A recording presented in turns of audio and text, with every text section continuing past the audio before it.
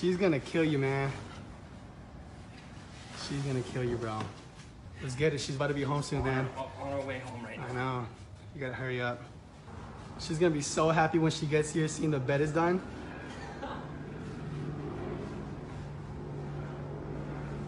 This is what she's got left after I destroyed the last one.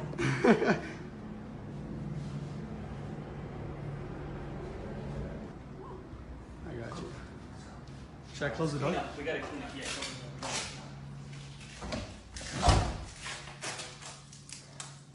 All right, we're gonna hide the camera. I'm gonna clean up. Then when Gila gets home,